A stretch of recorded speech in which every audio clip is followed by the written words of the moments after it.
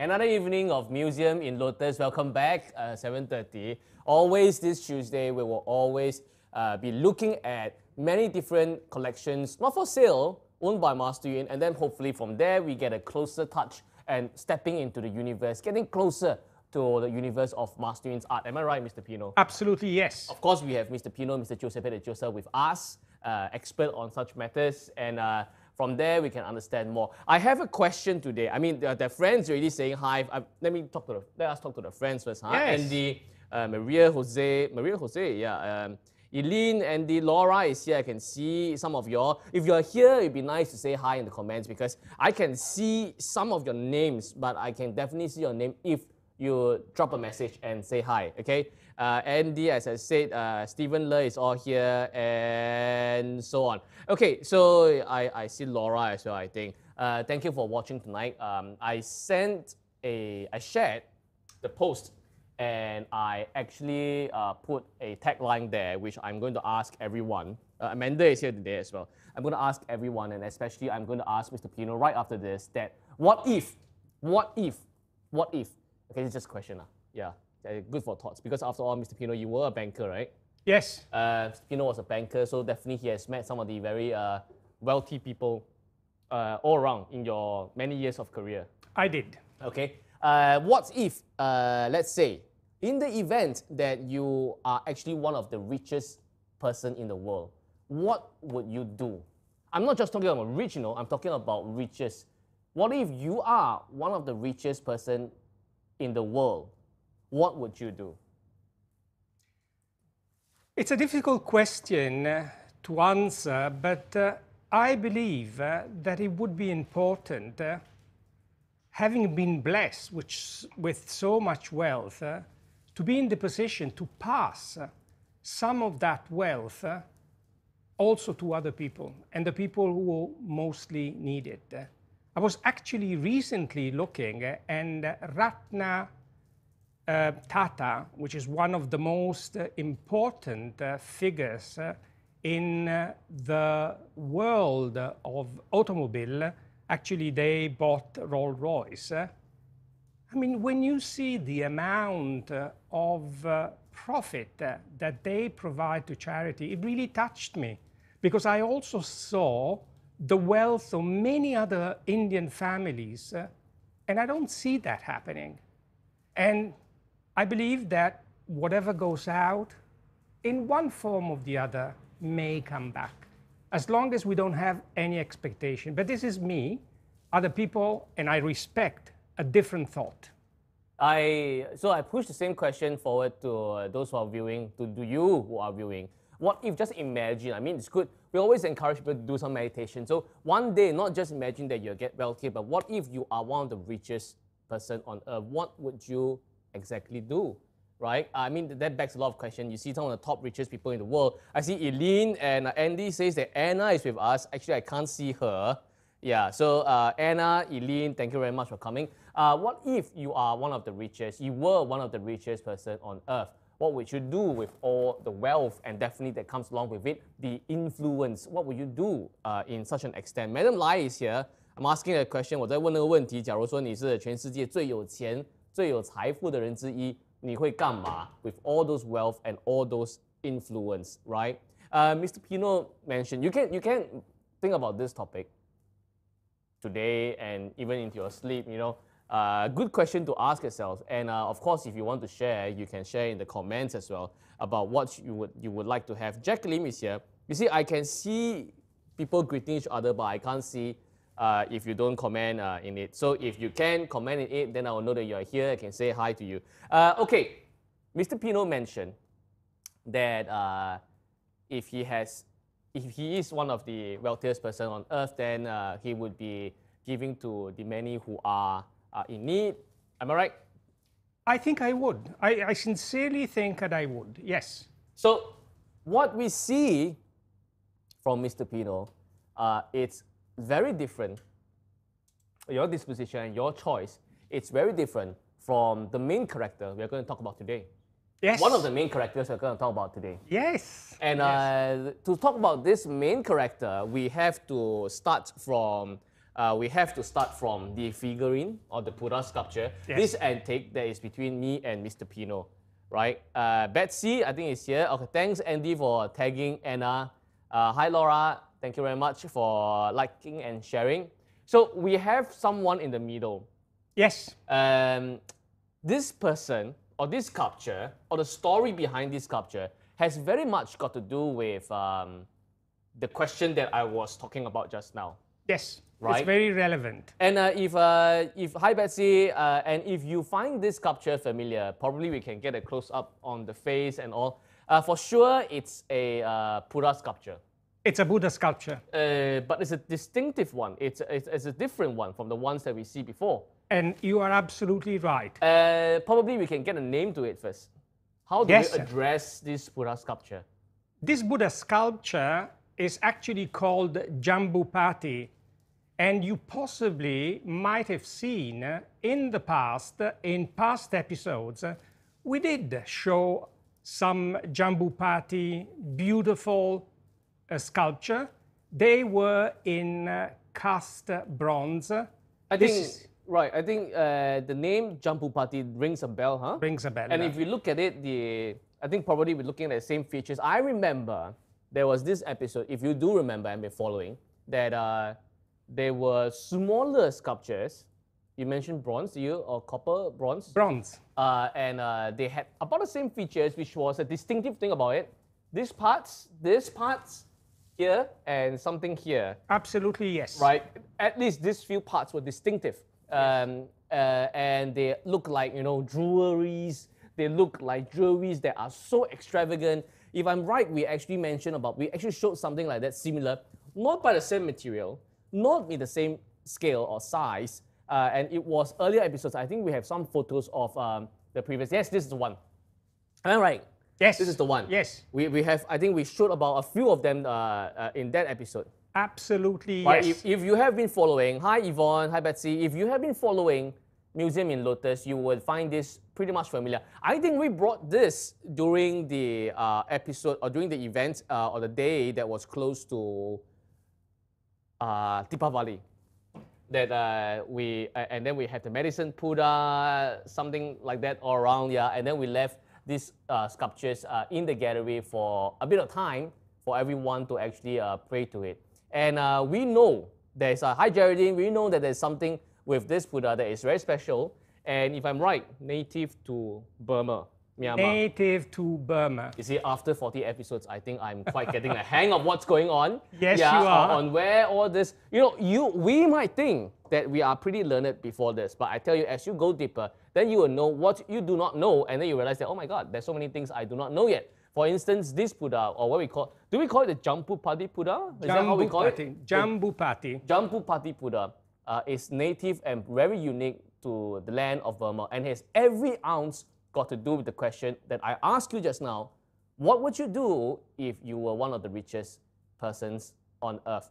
Uh, to get to that, probably we can have a brief story Yes. about why is it called the Jampupati Buddha. First of all, you recognize something which is uh, very important. There's no Buddha in any place in the world uh, that has these characteristics.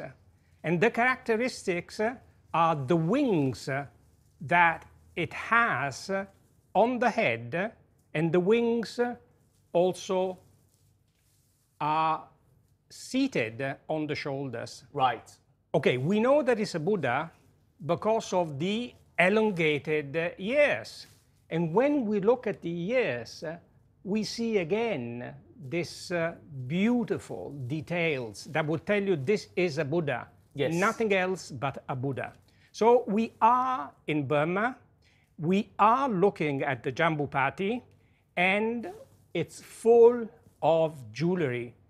And that makes me think, but usually a Buddha should not have jewelry. How Isn't, you're right, isn't it? I, uh, what do you call it? Is it ironic, oxymoron, or paradoxical? it's that- paradoxical. That you know we have we have seen Buddha sculptures before, yes, many in our Many. episodes. Remember the one from Laos? yes, Uh, simple, standing there, classy, uh, with uh, very little adornment and jewelry. Very And little. Even for the ones that are, are more native to uh, Chinese uh, Buddhism, absolutely yes. you have a good sash, you have uh, all this, uh, you know, but very little jewelry you will find on very little jewelry. But this one, the Jampupati Buddha, it's one that is full of riches, full of Full. jewelry.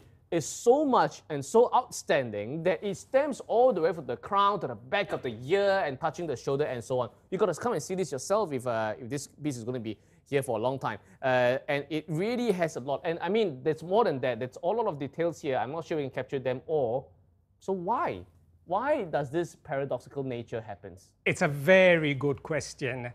And let me say, why do they call a Buddha a Jambupati? Jambupati. Why? There must be a reason, and the, the reason is very simple. Jambupati was a very rich, extremely rich, arrogant king in Burma.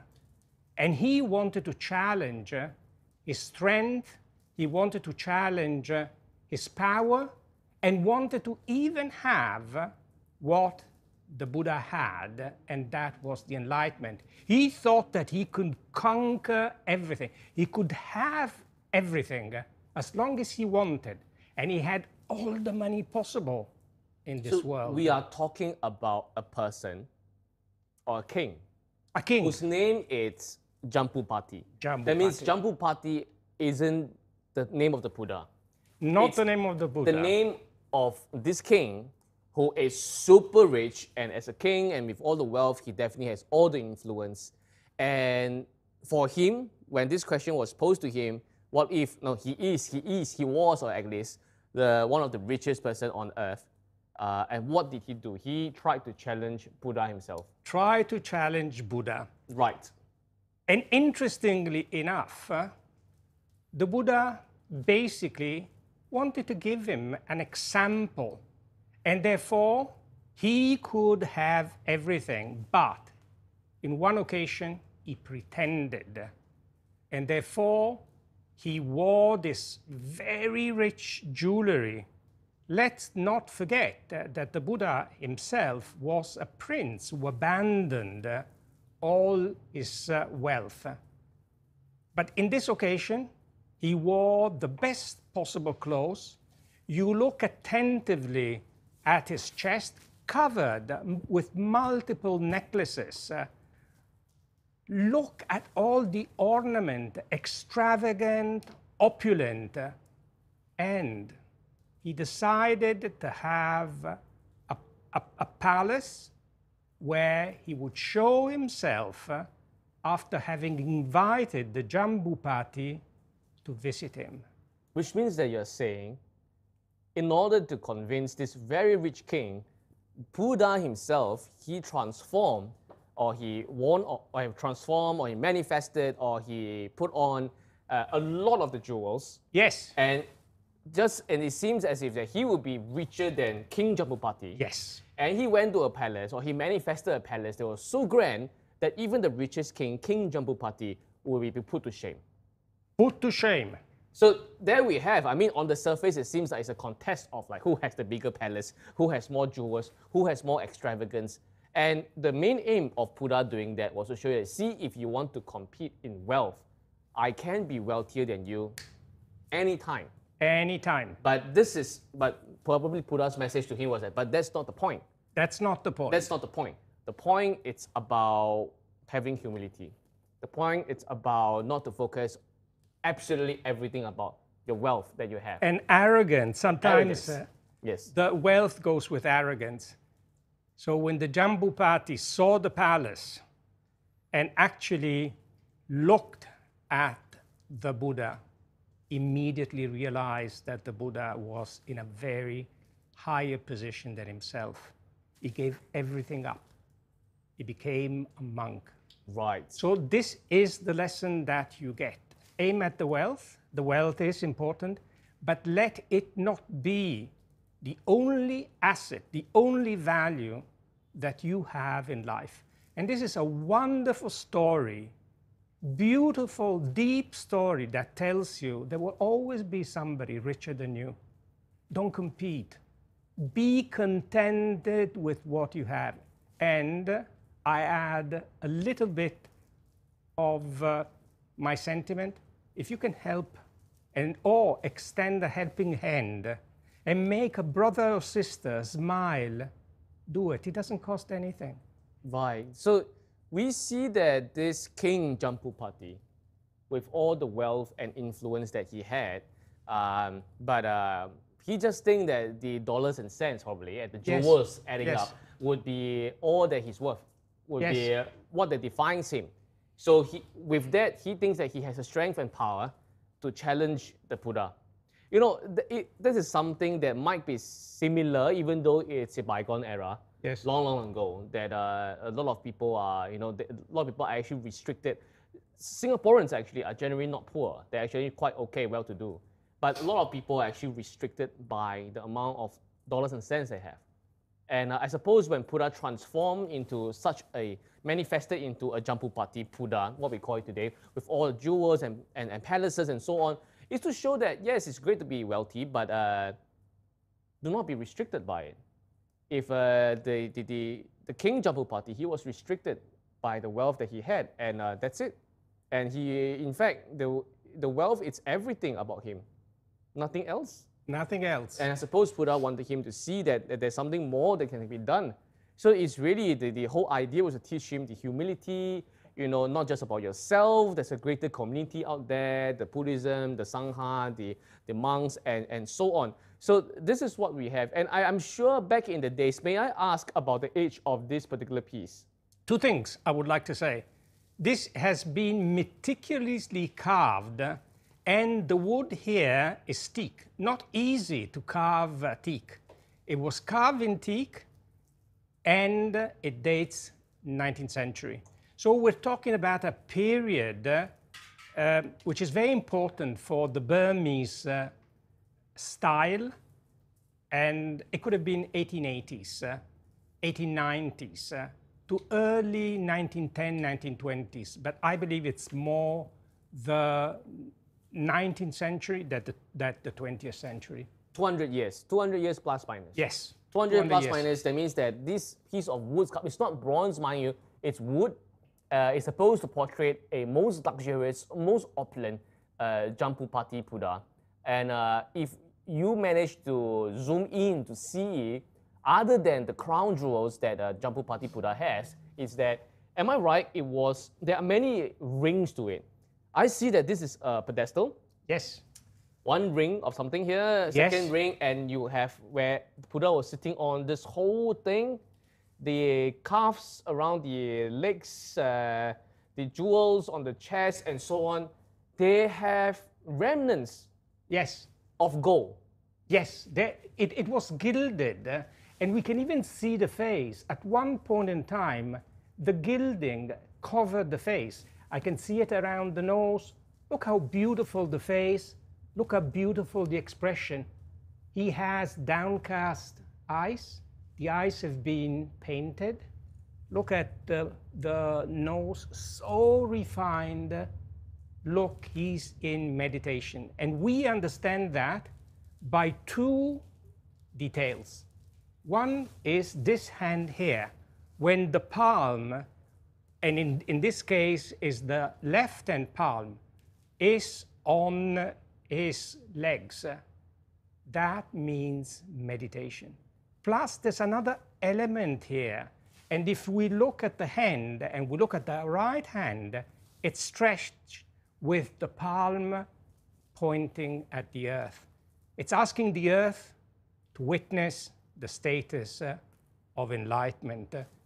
He's comfortably cross, cross-legged, seated. This is the lotus uh, position. And the lotus position is relatively easy to distinguish because the palm of the foot basically is upwards Full lotus position. full lotus position. Very beautifully rendered. And when you look at all the details that uh, Mr. Kan was actually showing us, very, very refined. This is a double pedestal. It, it's almost, and it's round. Right. It's almost like an hourglass. This is the way that we can explain it.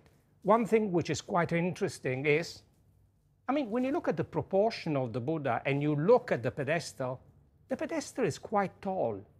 Why, I ask you, the pedestal is so tall? Is that on purpose? Or is that, it's, it's a way of expressing something without writing? It's the reverence that the Burmese people recognized in this beautiful Buddha. It's the reverence. The tallest, the taller the pedestal, the more important was the figure. And this is important for two reasons. is the Buddha and an expression of wealth The- which overcomes uh, wealth. the, the idea that the Jampupati Buddha was supposed, uh, this Buddha was supposed to show that uh, wealth is important. If not, you wouldn't have such a sculpture in the first place. Uh, but to be um imprisoned by the concept of money alone would be a curse. Uh, we would just end up like Jampupati, you know, uh, with a lot of um, arrogance and um, and what Buddha was trying to show that you know one can be richer anytime if you follow the right path. Yes. And uh, if you manage to follow the right path, that means you, to, you have to let go a little bit of your, in today's world, we will call it ego. You let go of your ego, right? Uh, and then you can find that you will immerse yourself in a greater community, in a greater belief, in a greater spirit, that actually, you know, by then to attain more wealth is actually very easy, but never be trapped by it. So this is Jambupati that we have here. And uh, if we turn back the time, 200 over years ago, this Buddha will be sparkling with gilded gold at many, many different uh, areas and segments that we see, truly representing how luxurious and how prosperous, how opulent a Buddha sculpture can be. And to think back at the time that the people will say that, okay, because we have to create a Jambupati Buddha, we are going to, not like King Jambupati, we are going to offer our riches, we're going to offer our wealth to make a Buddha sparkling with gold.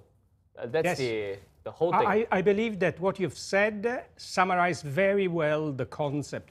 I would uh, also think that the sense of superiority which Jambupati felt in respect of the Buddha was actually crashed. And I think this is very meaningful because wealthy people at times uh, believe uh, that they are superior.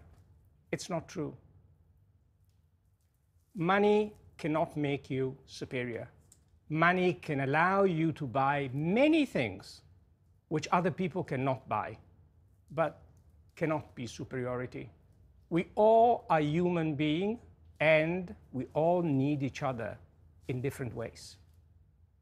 Right. So that is a the concept. This concept, it's interesting, and uh, and if we extend that, and we find that on the other side of things, uh, other than Buddha telling uh, King Jambupati that you know if I want to be wealthier than you, anytime I can be. Uh, of course, if you see there are four bowls in of bowls, if I might use that word Yes. uh, in front of us and actually has got to do with the same idea all along.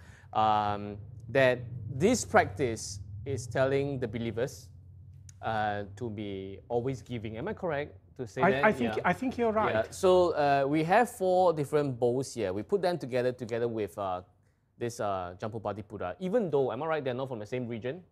They are actually very close by, Very but close. not exactly the same country. No, No, exactly the same country. no. Uh, are these four from the same place? They are from the same place. They're from the same place. Yes. And uh, maybe we mention what are these bowls used for first. Okay, they were used as offer, to offer. They were also used as uh, decoration items. They were used at home often. They would put a leaf, a banana leaf, and they would put the rice with a beautiful silver spoon. And that possibly leads you to think that this was Siam. Now it's Thailand. So these bowls were used to give offerings, Give offerings, uh, yes. um, to give offerings to monks and uh, I I think it was to give offerings.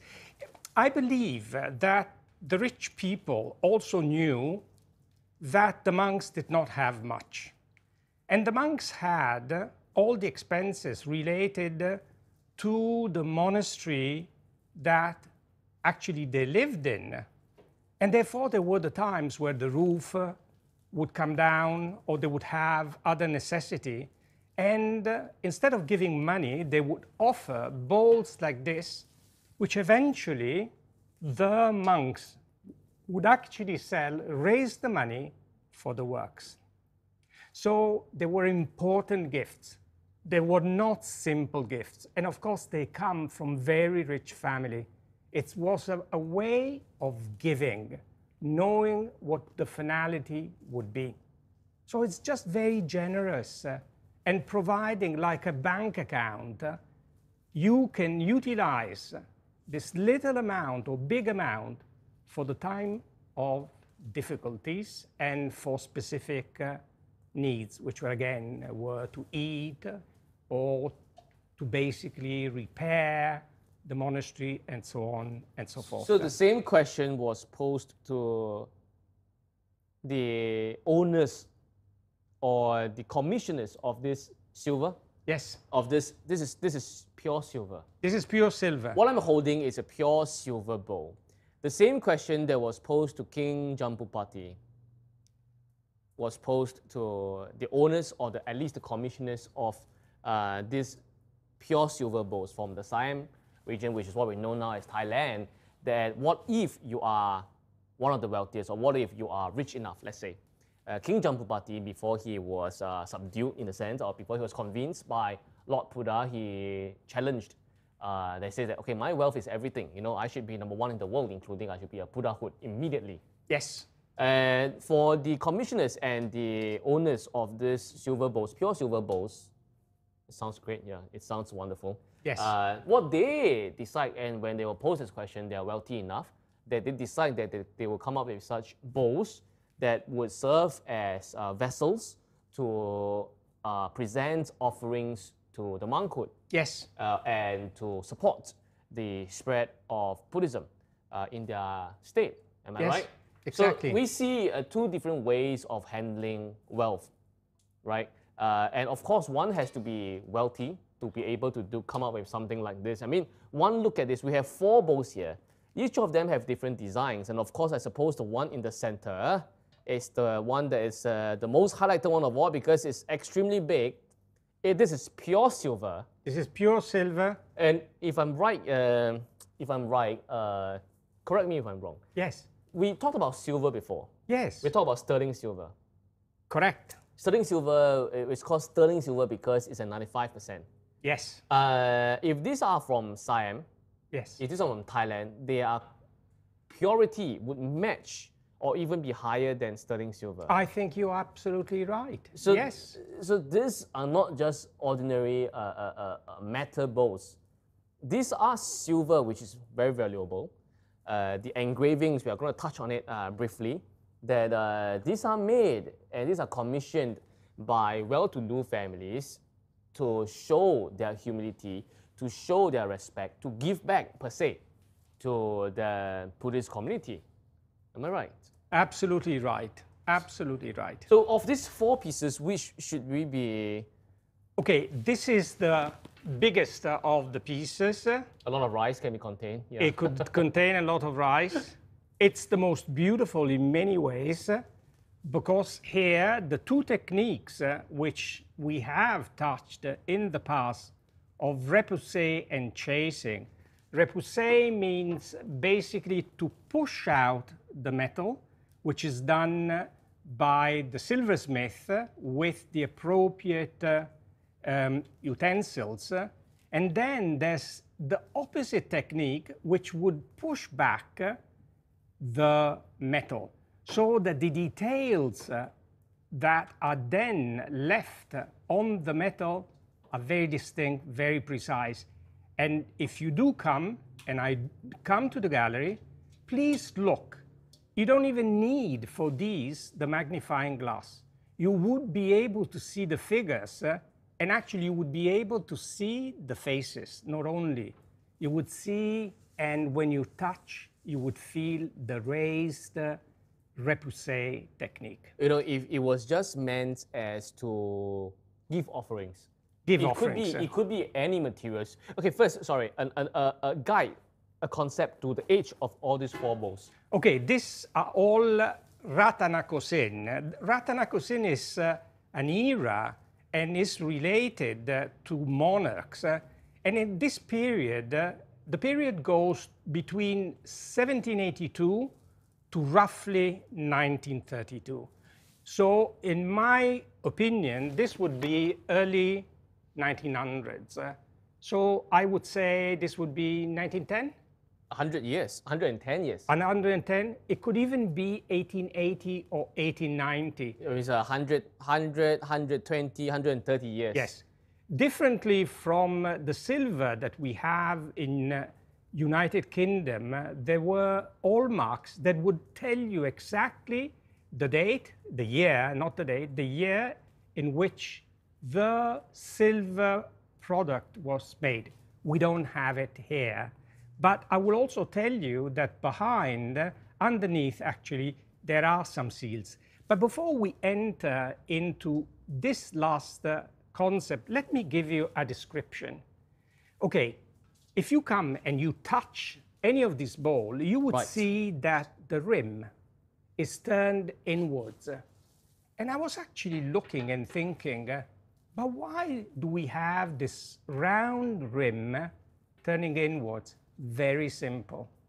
After a minute of thinking, uh, I said, it's because this rim will give strength and solidity to this bowl. Now imagine this bowl, all of this bowl have been made out of a thin or thicker sheet of silver. And just by hammering uh, with care, with attention, there's not one hole. That means there's not been one mistake by the silversmith uh, in order to create a hole in this bowl. And I will tell you about the silversmith. uh, Now, when we look at this bowl, we see two, two basically two um, ornaments. the first uh, two, and uh, they represent actually diamonds, the first and the second. Then what we find here, we find six, what I would define as cartouche. The six reg is like a, it's like a cartouche, but uh, it's it's not it's not exact. Yeah, it's like a cartouche. Okay, yeah. It- it's, it's, it's oblong. it's, a, it's a yeah, it's a main shape thing. Yeah. It's, that- it's that an oblong there. thing. And they're actually almost connected. uh, But when I look at the design, I see in this bowl alternating designs. So we see one figure, followed by a different figure, and then again another figure. So let me tell you, let's examine first of all the outer part of this larger band. It's so meticulously rendered by these continuous little squares. Very beautiful and mad work. It must have taken days to get this. Then we enter the cartouche oblong. And when we look at the cartouche here, we see two images. Now, first of all, look at the background of the cartouche. It has trees. And all the trees are all very close one to another, which makes me think that this is a forest. When we look at the when we look at the figure, beautiful sinuous uh, figure, and we see the arms are lifted in opposite direction. In this particular figure, we see weapons uh, on both sides. When we look at the base of this forest, uh, I see grass uh, or, and other vegetation. You look at the trees, they are so finely rendered Thick as well. And thick. So while you say it's uh, it's, it's it's beaten out one of one piece of silver, Yes, a lot of consideration was put back in. Probably attached silver was to it to make this texture alive. Uh, so it, it, feels very 3D. It, ve- it is very 3D. And this was not an easy work. This was really by a, a master silversmith. And I will tell you something about my take about the silversmith.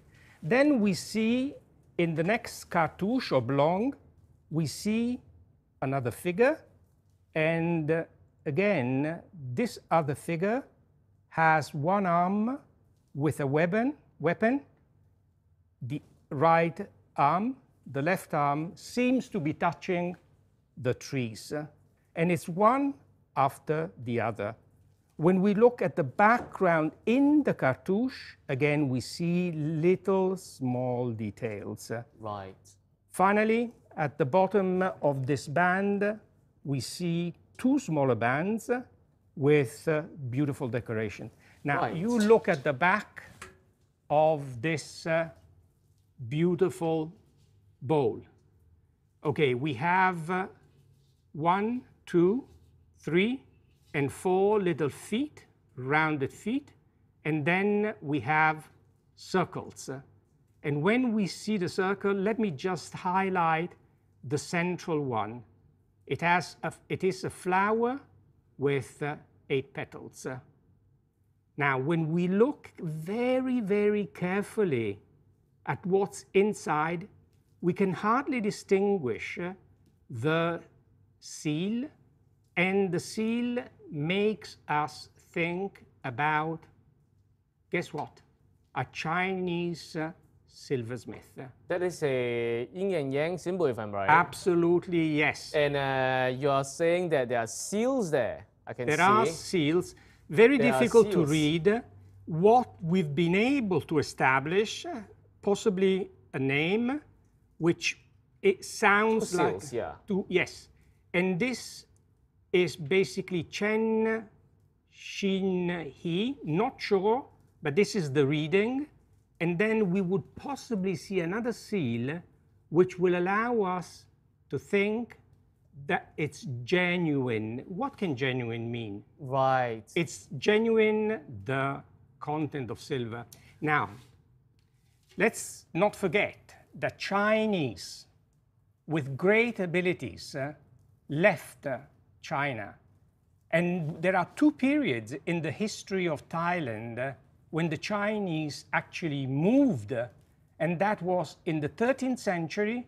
And then there was a big flow of Chinese, uh, again with enormous abilities, uh, that moved uh, to Thailand. And this happened in the 18th, sorry, the 18th and 19th century. So what did they bring to Thailand? Their abilities.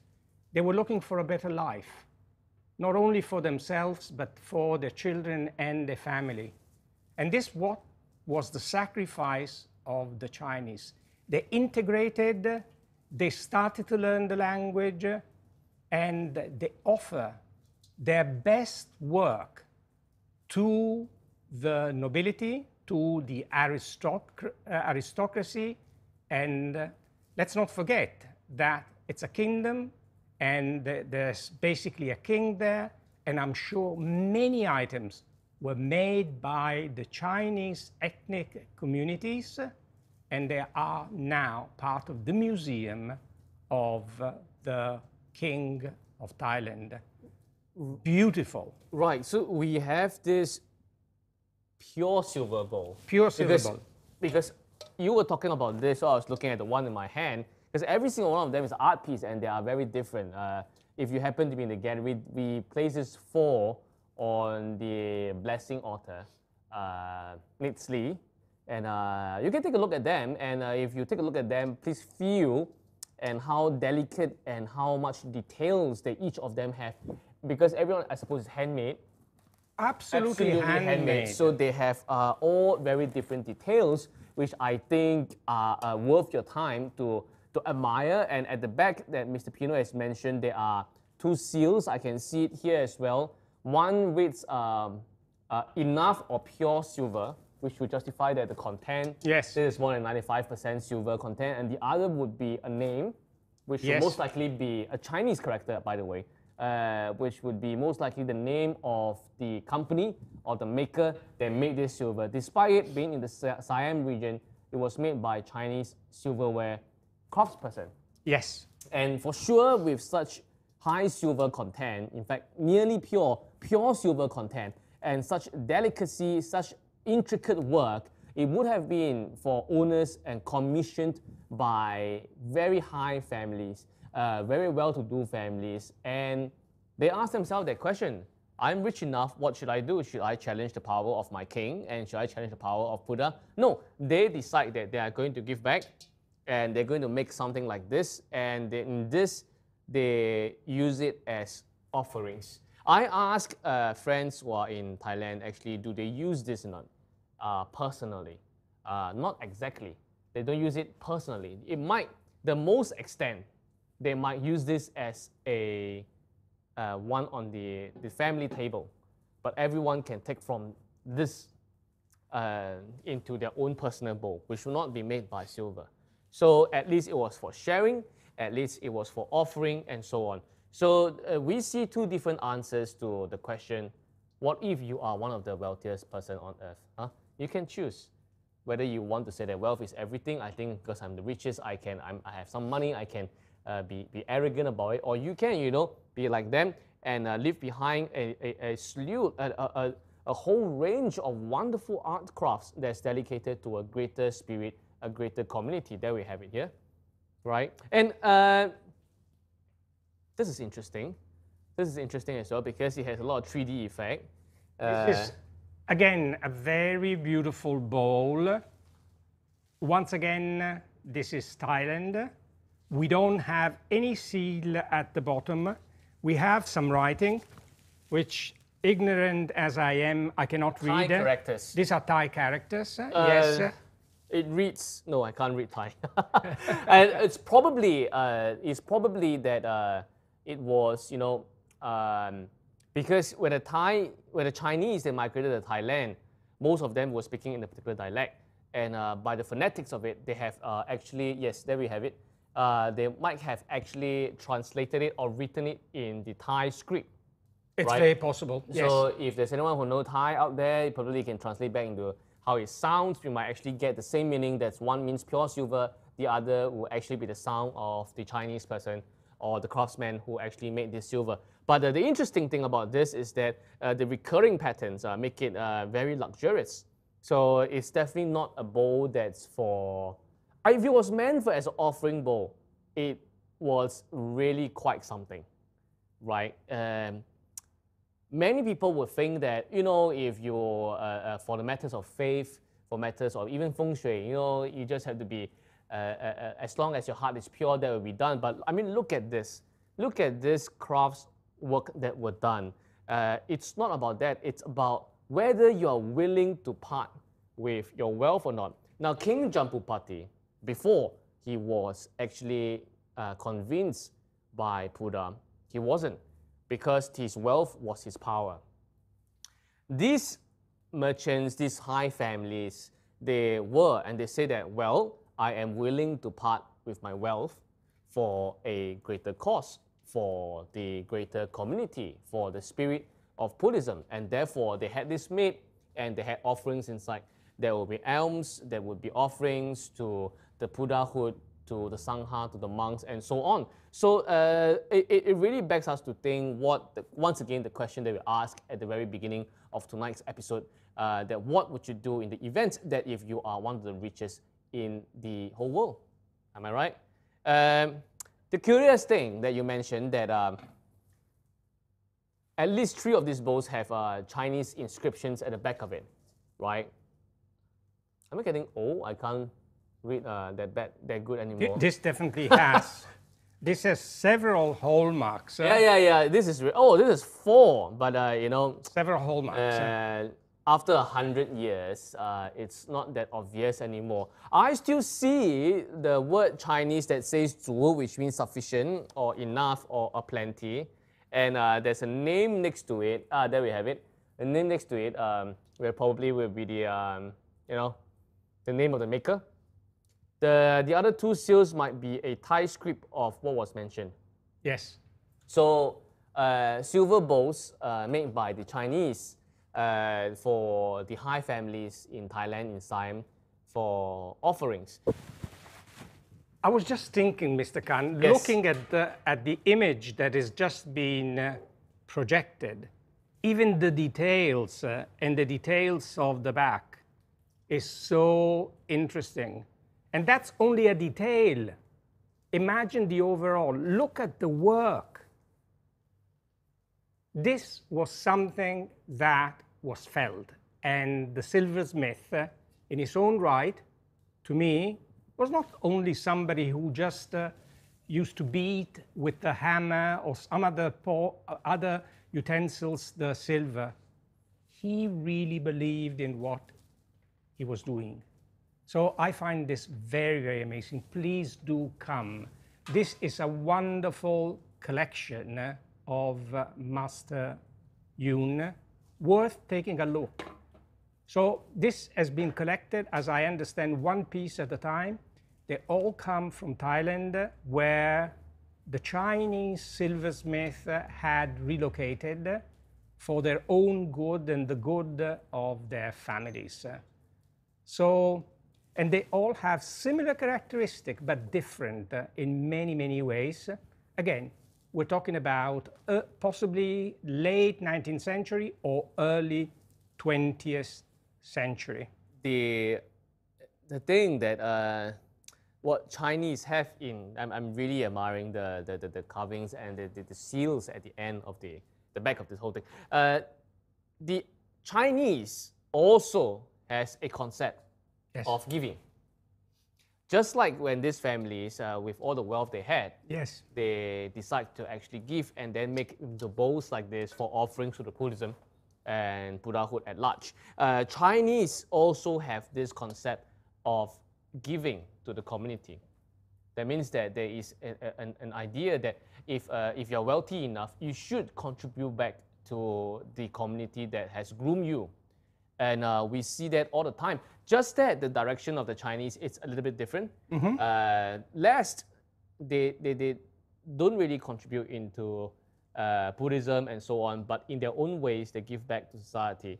Um, one of the main things that the Chinese do when it comes to the question, if you are wealthy enough, what would you do? And if you ask the Chinese out there, there might be a few responses. Um, the first response will be like King Jambupati, you know, I, will keep all the riches to myself, I'll buy this, I'll buy that. That's fine, okay? But you know, after tonight's episode, uh, hopefully that, that might not be the final answer. And the second one, if you have observed along uh, throughout history, is that when the Chinese they are they are rich enough, or when they come, the question comes upon them: if you're one of the wealthiest person on earth, if you have enough money, what would you do? And then uh, probably they will do a few things. One, they will actually bring the money back to their hometown, and then they will build the roads, build the houses over there as a matter of giving back to where they come from. And uh, another thing that you see, because these silver bowls, after all, were done by overseas Chinese. Yes. Chinese who has left China. Uh, many of us in Singapore might have forgotten the history that actually our ancestors also came all the way from China and they were initially overseas Chinese. And one of the things they did when they were in Singapore and all over the world, all around the world actually, when they were wealthy enough, some of the richest merchants, was to actually set up schools. It was their way of answering the question, what if I'm wealthy enough? What should I do? And one of the answers was to, I am going to invest in education. I am going to set up schools. I am going to teach or allow my fellow descendants to be educated. This is one of the things that the Chinese do when they face with the same question. Amazing. Right? So, uh, which brings to the point that uh, the similar thing that we have uh, with what the what these uh, high families in Thailand they were doing uh, pretty much similar to a recent event that Master Yun had in Nanyang Technological University. That he, and uh, in the name of uh, Master Yun, he donated um, a huge amount to Nanyang Technological University in his uh, vest to invest in education. And uh, actually, I have something here that uh, this is a gift from um, this is a gift from NTU itself. It reads in grateful appreciation for establishment of Lotus on Water Chinese Culture Publications Endowment Fund. Wow. 6th of July 2022. A simple gift to actually acknowledge uh, the funds and a donation given by Master Yun. Here we have actually one of the significant buildings of how NTU or Nanyang Technical, one of the most arcane buildings actually, uh, is currently the Chinese Heritage Center.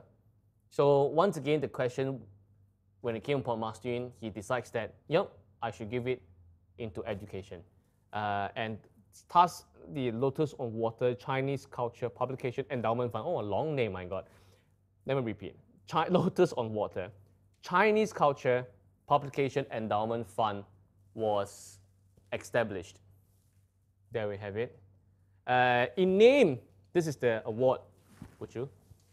Uh, in real- reality, what Master Yun decided to actually sponsor and support was actually this that I have in my hand. Uh, it's called the Nanyang Journal of Chinese Literature and Culture. Uh, Right. Two seasons have been uh, published so far.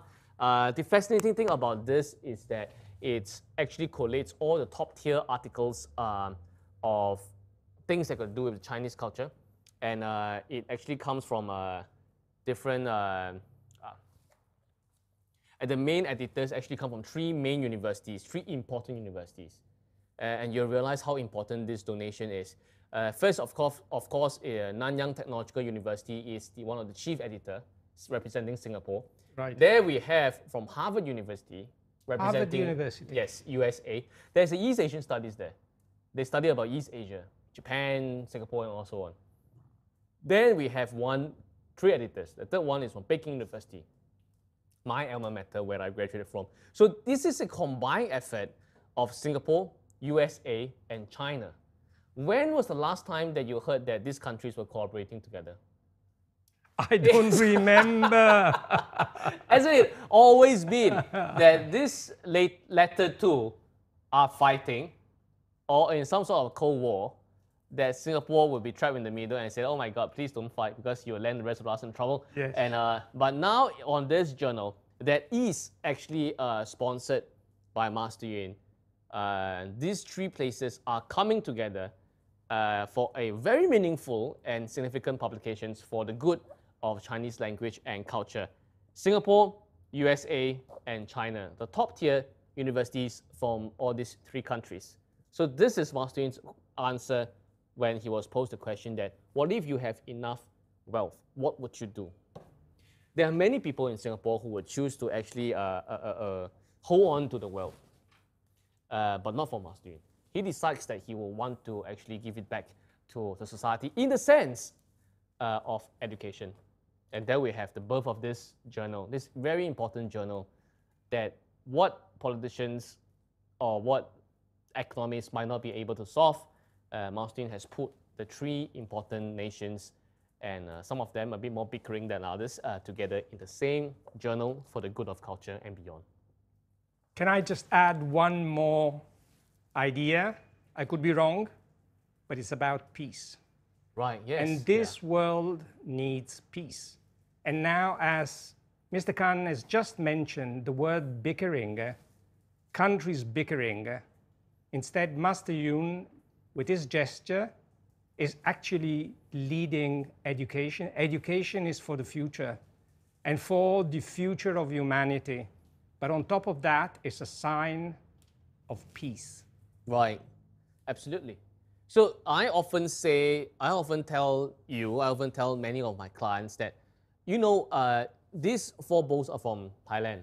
Am I right? Absolutely, Currently yes. Thailand. Do you know that just behind you and me, today I have uh, specially uh, selected paintings that are from more of a bygone past. That uh, we actually had an exhibition, we actually had a huge event in Thailand. Do you know?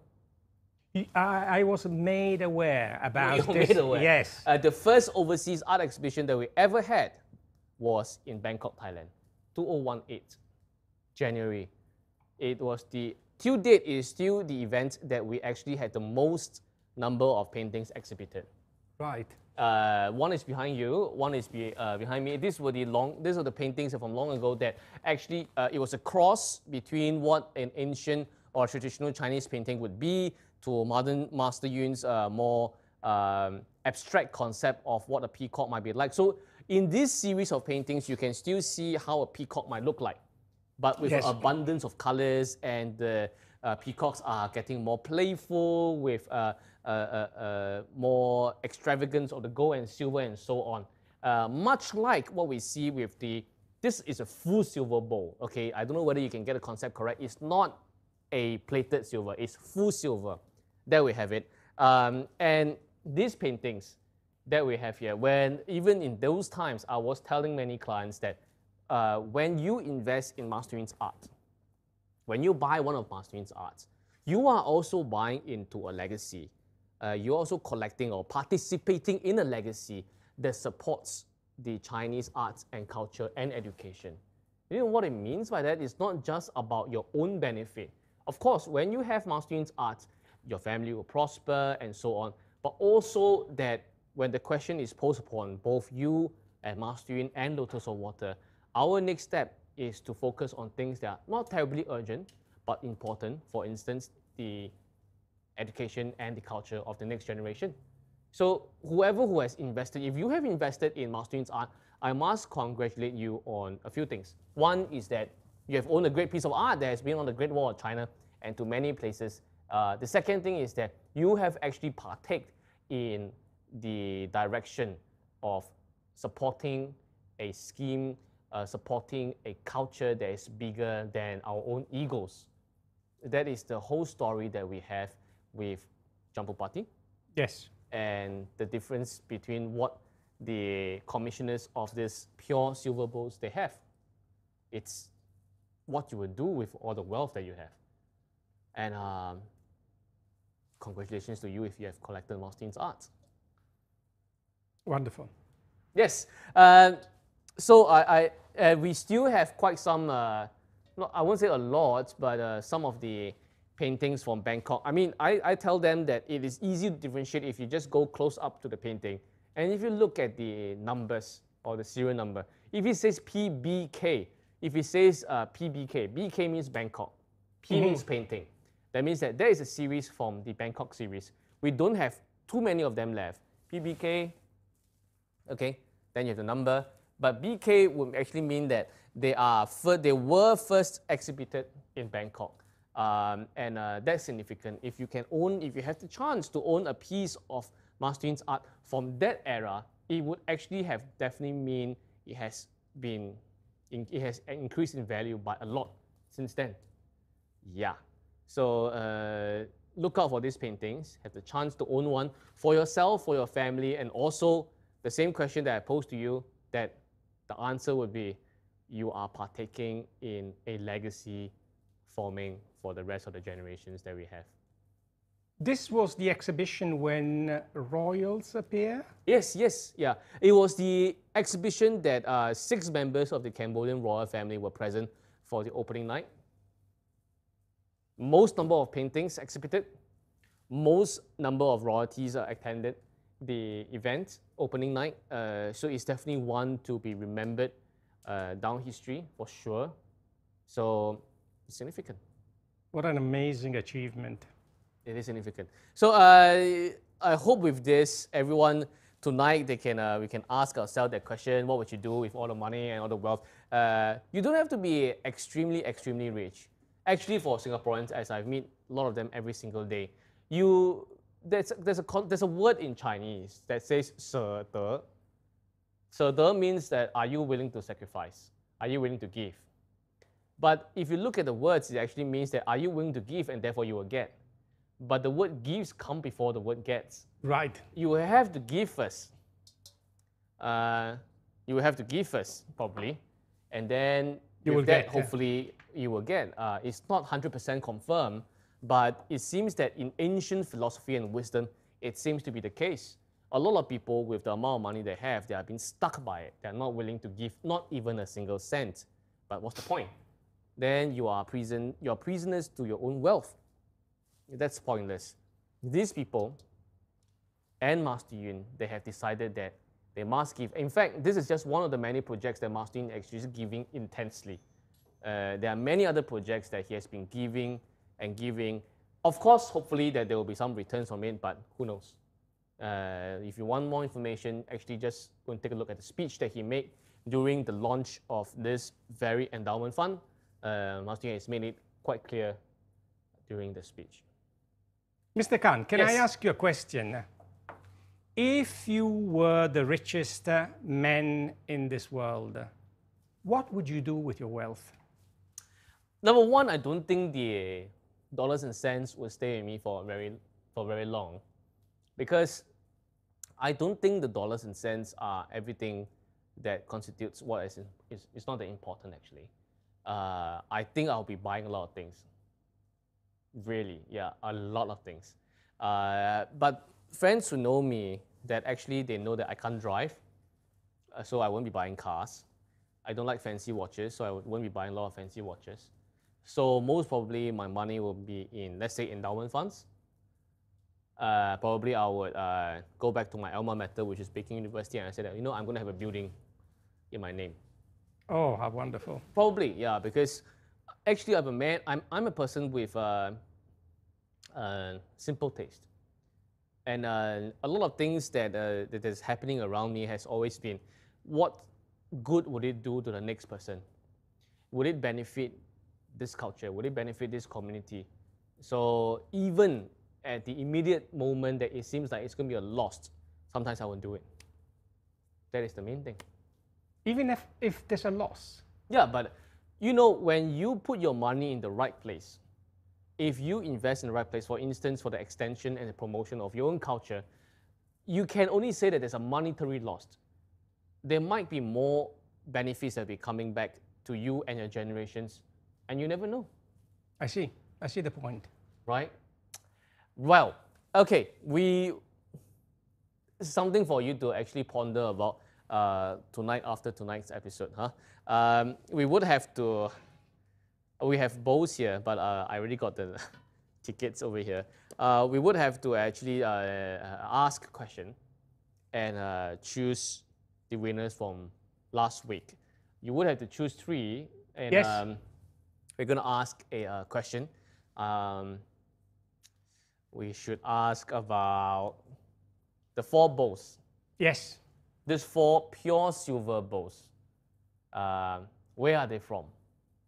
Good that's question. A, that's, a, that's a giveaway question. Yeah. Good question. They are made by Chinese, but they're not from China. They're not from China. They're made by Chinese. They're pure silver bowls, made by Chinese, but not from China. So where are these four silver bowls from? Yes. It's about 200 plus years from now. Approximately, yeah. yes. Oh, sorry, sorry, no, no. This is about 100 plus, 100 plus. This, this is about 200 plus. This yeah. is 200 plus. Yeah, these four uh, bowls that are estimate about 100 years of age, where are they from? Yes. Where were they made?